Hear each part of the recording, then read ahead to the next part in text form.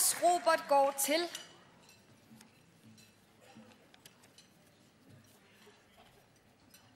Mikkel Bro Følskov.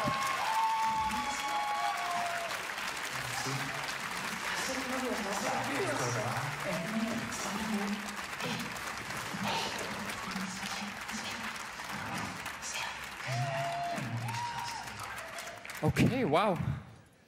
Jeg troede også, vi var så last year. Øh, okay.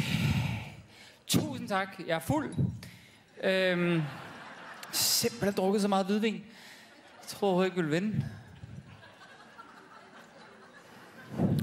Kæft, det er vildt. øhm, det, der sker nu, det er, at jeg lige laver en snap til mine venner. Hej guys. Jeg er lige været Robert. cool. Øhm, nej. Prøv at, jeg er da super glad. Det skal da ikke være nogen hemmelighed. Det er det er da, øh, det er da en kæmpe anerkendelse og øh, en gave. Øh, det er da et klap på skulderen, som jeg ikke ville være foruden. Jeg forestiller mig den her tale helt anderledes i badet, da jeg stod hos min svigermor på Christianshavn. Vi bor der, fordi vi får renoveret huset. Øh, Trine, elsker dig. Carsten fucking elsker dig. Marie, elsker dig. Christian, Rank, Karoline. Øh, nogle gange så er ens første forelskelse den største. Sådan var det for arvingerne.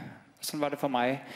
Arvingerne var det første, jeg lavede efter teaterskolen. Øh, og det var min første forelskelse. Jeg tror ikke, det bliver meget større. Øh, det var sådan en, en efteruddannelse. Ret vild med Jesper Christensen og Trine og sådan noget, hvor man lærte nogle ting. På gulvet på sættet. Øh, jeg skrider nu. Vi ses, tak. Det var virkelig fedt, tak. Nej, nej, nej, lige en ting. Jeg har lige... Undskyld. Paprika, du er fed. Hold kæft, Paprika, gør det fedt i aften. Du er fucking grineren, Paprika. Ej, jeg vil bare lige sige en ting, som, øh, fordi jeg har vundet en pris før, hvor jeg glemte at gøre det her, og nu gør det.